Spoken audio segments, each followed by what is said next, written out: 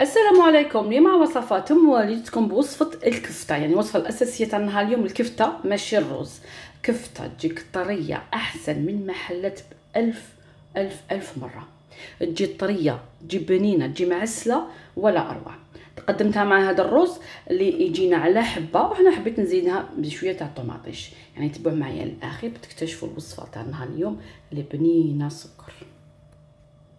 للكفتة تاع نهار اليوم واش نحتاجو. هنايا قيس خمسين ألف فيونداشي هكذا باش تعرفي ابيبري شحال تجيك الكمية. عندي هنايا بصلة مسكرفجة شوية تاع المعدنوس مقطع رقيق. راح نزيد لهم زوج في الصوص نتاع الثوم مسكرفجين لهاد الكمية تاع اللحم راح نحتاج معاها مرصو نتاع خبز اللي يكون صابح يعني ماذا بينا يكون صابح. نحكمو نفتو مليح.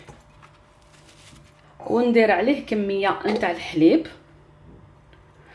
وما يجيش بلا شابلور هذا السر تاع الكفتة تاع نهار اليوم. كي نديروا له هذا الخبز نزيد شوية تاع الحليب على حسب الكمية تاع الخبز حوالي واحد نص كاس ولا.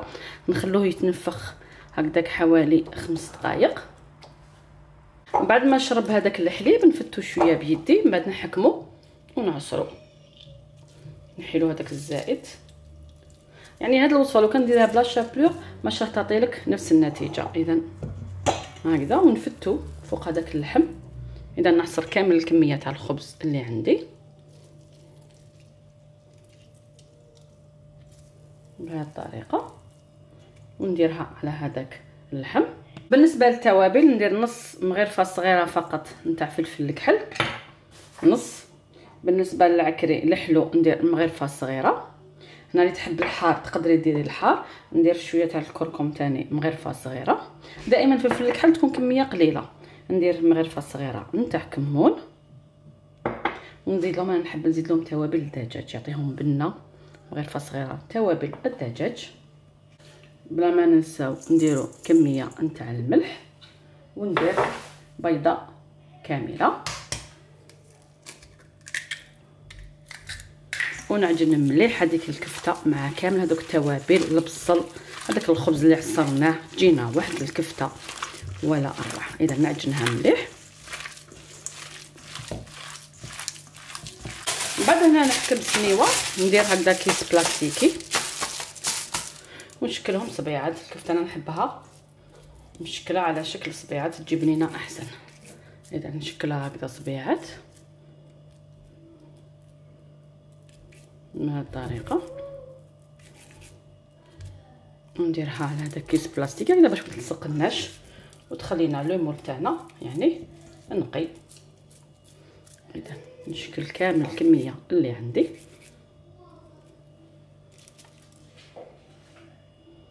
شوفوا الكمية اللي عملتها لي تاع الكفتة. يعني كمية ما شاء الله. نغطيها نديرها في الثلاجة الوقت اللي نوجدوا فيه الرز. بالنسبة للرز ندير مغرفة نحب ندير مغرفة تاع الزبدة. وندير لها شوية نتاع الزيت. هذا الرز والله يجي أحسن من يتباع في المطاعم. ندير له عبر نتاع الرز المفور. أنا دائما نستعمل الرز مفور يعني عبر كاس غرفية اللي عندك. كل واحدة دير افراد العائلة. إذا ندير عبر واحد نتاع الرز إذا نزيد شوية النار نقلي شوية هذاك الرز في هذيك الزبدة. والزيت نقليهم شوية حتى يتشربوا كامل اليدان وندير الزبدة. بعد ما تحمص لي هذاك الرز راني تحسوا انه الحبة بدات تتحمر.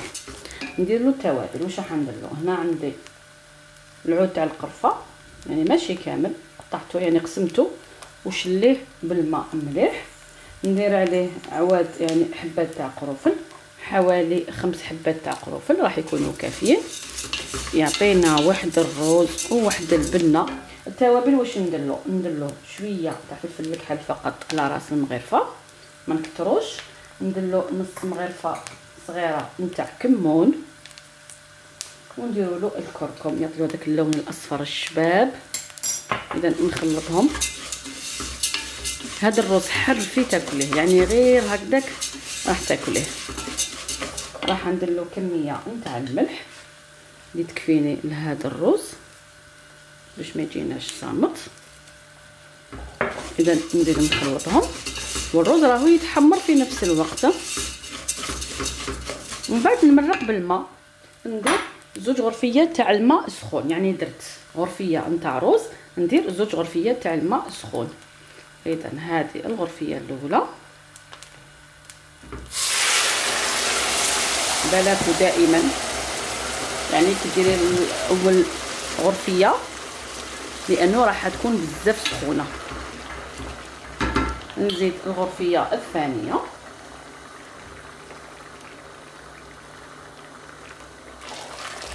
هكذا نسرعو شوية. كيكون يطيب. الان هنا راهو يغلي. نقص النار تماما لازم النار تكون قليلة بزاف. ونغطيه. ونخليه يطيب حتى تشوفيه كامل شرب هذاك الماء. وداروا لنا ثقب صغيرة تما باش نطفي عليه. من بعد ما جاز الوقت راح نضرب على داك الرز. شوفوا دار هذاك الثقب لكن تحسي إنه مازال كاين الماء. لاحظوا يغلي تحسي إنه مازال كاين الماء. صافي الرز تاعنا مازال ما طاش. نعاود نغطي عليه ونخليه يزيد يكمل طياب. هنا كي نفتح على الرز شوفوا الماء كامل ما كاش. كما راكم تلاحظوا ودو الثقوب كاينين. واش ندير؟ نعاود نغطيه ونطفيه ونخليه على الأقل عشر دقائق ما نتوشيهش كامل. من بعد نجي للكفتة ندير كمية نتاع الزيت تسخن. بعد ما سخنت الزيت ندير هذيك الكفتة تتقلى. نقلبها الجهة الثانية. هكذا باش طيب لنا. النار ما تكونش قوية بزاف باش طيب حتى للداخل هذيك الكفتة. واحد الريحة لو كان نصير كيفاش يعني نقول لكم الريحة عبر الكاميرا ريحة بزاف تشهي إذا نحمرها مليح. من بعد ما طابت كامل هذيك الكفتة إذا نحيها.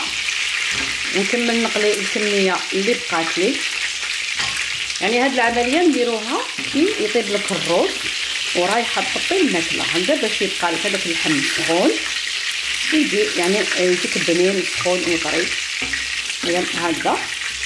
نكمل نقلي اللي بقاو لي بنفس الطريقة.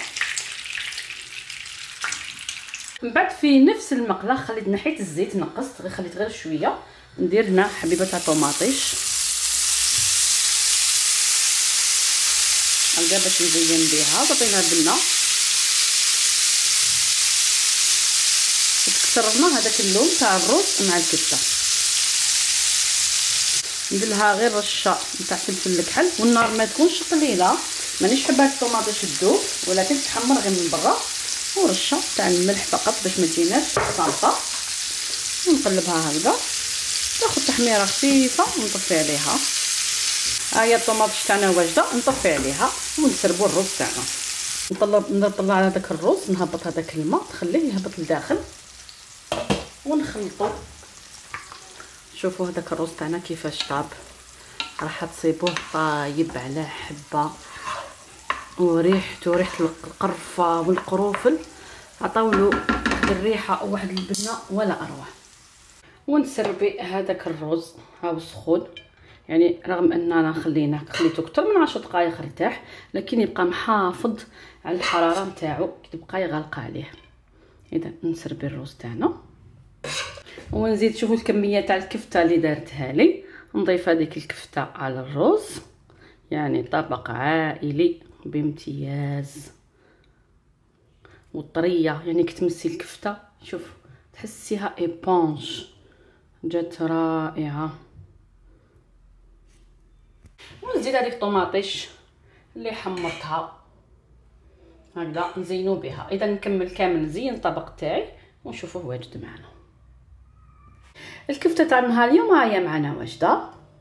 بعد آه، في الأخير درت فقط شوية تاع المعدنوس هكذا. شوفوا كيفاش جات.